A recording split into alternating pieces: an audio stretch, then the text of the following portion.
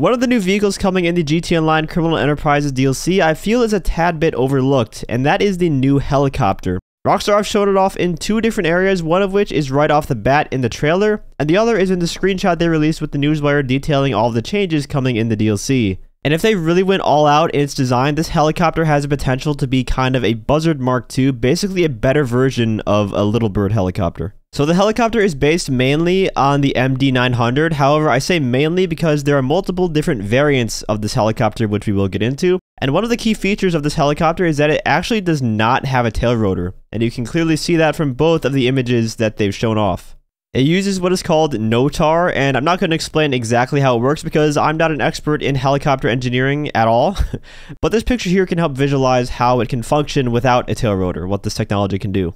But like I said, there are multiple different variations of this helicopter. We have the MD-902 Explorer right here, which is just a non-weaponized civilian version of the helicopter. And this one largely looks like what we have seen so far from the GTA screenshots, just a standard unarmed helicopter. But then, there's also another variant. This is the MD-969 Armed, which is the military weaponized variant of the helicopter. Now, how awesome would it be if when we bought the helicopter, it would get delivered to the hangar and we'd have the option to equip missiles, machine guns, countermeasures, maybe even a lock-on jammer. That would be neat for helicopters. So you could either have the civilian version of it or you could have the armed version of the helicopter. That would be so sick. Now you might be thinking, well, based off of the screenshots, it doesn't really look like there's room for weapons on the chopper.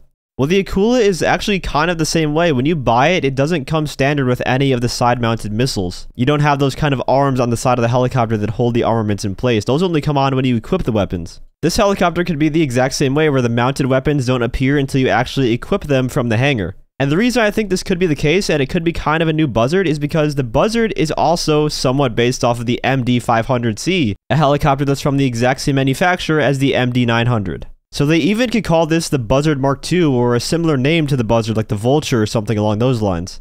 Just imagine a more modernized version of the Buzzard if it had the exact same weaponry as the Buzzard, you know, the powerful machine guns, the missiles, but it also had better armor, better performance, and countermeasures. Oh my gosh, that would be fucking awesome. And I'm really hoping that's the case here with this helicopter. I truly hope it's not just another helicopter that you can just put in your hangar and put countermeasures on. Although if it was a civilian helicopter that had a lock-on jammer, that would be neat too. I just feel that standard unarmed civilian helicopters aren't really that useful in GTA Online. But having the option to make it a cooler, more modernized version of the Buzzard, or have the civilian variant, that would be neat. Because everyone loves the Buzzard. I don't know a single person who hates the Buzzard. And having a beefed up version of it, that would be an instant buy for me. But let me know what you guys think about this. Do you like my idea for this helicopter? Let me know down in the comments. If you enjoyed the video or found it helpful, feel free to leave a like as well as subscribe to my channel for more GTA Online content. We are not far away now, less than a day before we officially know if this helicopter is going to be completely useless or awesome.